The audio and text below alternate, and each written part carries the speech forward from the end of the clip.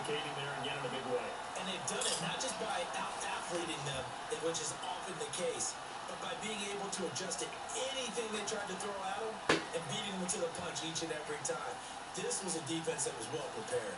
Still an important piece of business to take care of, the extra point.